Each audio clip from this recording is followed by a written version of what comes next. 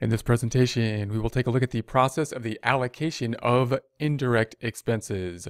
You'll recall that we have a decentralized system. We're discussing a system where a company is breaking up into departments and providing responsibility for different departments. We then need to track the performance of each department, and we have two types of expenses that we're going to allocate to each department.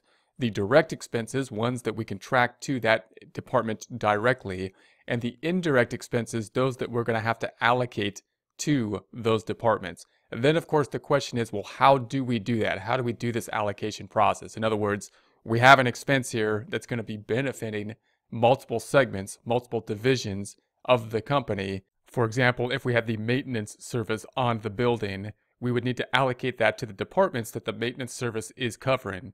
And we might say, well, if there's three departments, we should just take the cost of maintenance divided by three. That would be one allocation method. A very simplified allocation method may be applicable in some cases. However, it might be the case that these three departments are different in nature. In other words, one might be larger or uh, than another, and therefore it would be more appropriate for us to allocate on some other basis. We should allocate more to the larger department than the smaller department. Once we do that, we then need to decide, well, how are we going to do that? What's going to be a fair way for us to break out this cost of the maintenance, for example, to the three departments that are being covered by it. We're going to have to use some type of percentage method. And to do that, we'll typically use some type of activity base in order to allocate that. For example, if we're talking about maintenance, usually the square footage that is being covered is going to be a relevant activity base because it would seem reasonable that the, the maintenance would spend more time on the larger areas than the smaller areas. And if we use a proportion of square footage as a percentage to then allocate the cost between the departments, that seems like a fair way to go. However, the square footage might not be the case, might not be the best activity base to use for other types of activities, for other things. And therefore, our goal then, when we have allocations such as this, is to determine what it is we're trying to allocate figure out what an appropriate activity base would be, something that we can then use on a percentage basis to then use those related percentages to allocate out the cost. So here's some common types of allocation bases, activity bases, common things that we would need to allocate out. If we're allocating, for example, something like wages, let's say we have someone that we are paying that is going to be in charge of multiple different departments.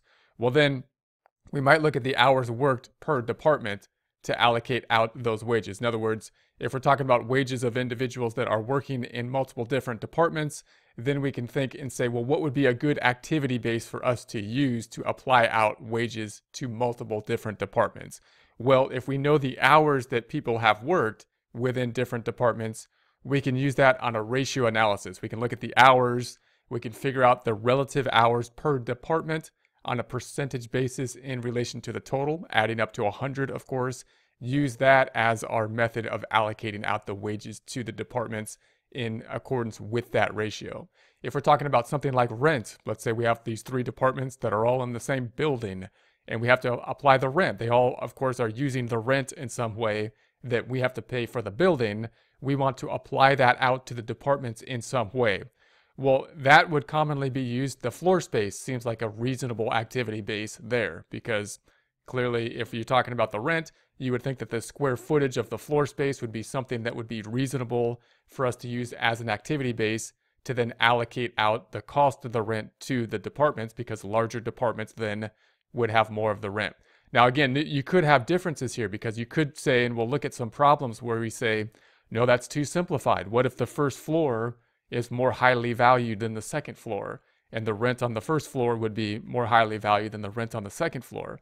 It could be that uh, it would be more appropriate to have some bit more complex type of activity based allocation in something like that. But you could see our goal here is to pick an appropriate activity base, the floor space, using the relative floor space between departments to get ratios, percentages we can then use to allocate out the, the cost.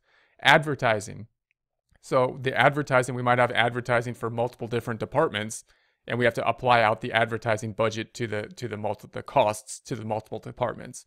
Now, an, a common activity base there is sales revenue, because there could be a, a correlation. Of course, we hope that the advertising is is correlated in some way to the sales revenue. So we might look at the relative revenue generation, draw a percentages of the departments in revenue, use those percentages to then apply out to advertising. Now, once we get this concept down, we'll, we'll talk about this concept of how we do these percentages, then that becomes pretty systematic. Once we know uh, how to do that, we'll come up with these ratios. That'll be fairly easy. We just need to re realize that we, we can use different type of activity bases to run these ratios, and we want to use the best activity base that's going to be driving uh, what the relative size, what the relative cost will be appropriately to the departments. So then we might have depreciation. We might have the, the, building. What if we don't rent the building? We have depreciation on the building, or let's say depreciation on equipment. So if we're talking about depreciation on equipment that's going to be used by multiple departments, then we might have the hours used per department. To do that, of course, we would have to track the hours that are being used for the piece of equipment. And then once we do that, we can add up the hours and we can use a ratio analysis comparing the hours used in one department versus the hours used in another department. And we can then uh, apply that out and apply out the depreciation to the appropriate department based on that ratio analysis. Utilities. Again, we might have the whole building. We might pay one utility bill. We don't pay utilities per floor, possibly. If we did, then that would be one way to go. If we don't, then if we don't pay utilities per department and we pay one utility bill and we have three departments in it, how do we allocate the utilities? Again, another common way we might do that is that an easiest way would you would think would say the floor space occupied, because you would think that larger floor space being occupied would then have more utility.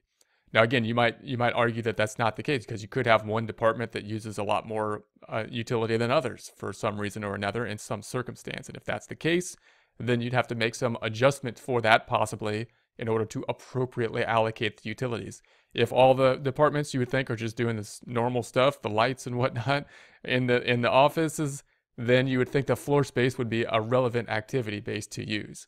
So just note these are going to be some common kind of ways that we can apply out uh, what we're looking for, of course, here is some type of activity base that's going to be related, a cost driver driving the cost that we have, some type of activity base that we can uh, quantify in some way, and then compare departments so that we can have a ratio analysis comparing the relative use of the activity base from department to, to department compared to the total, resulting in ratios or percentages that add up to 100 which we can then apply out the costs based on.